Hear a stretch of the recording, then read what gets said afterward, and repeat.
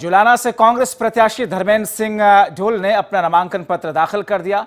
धर्मेंद्र जीत के दावे करते हुए नज़र आए। उनका कहना है कि हलके का जीतना और हलके की जनता उनके साथ में है। एक तरफ़ जीत भी उनके साथ है, दूसरी तरफ़ जनता भी।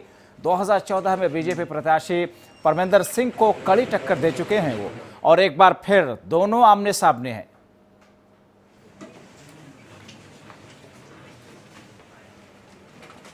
हम्म।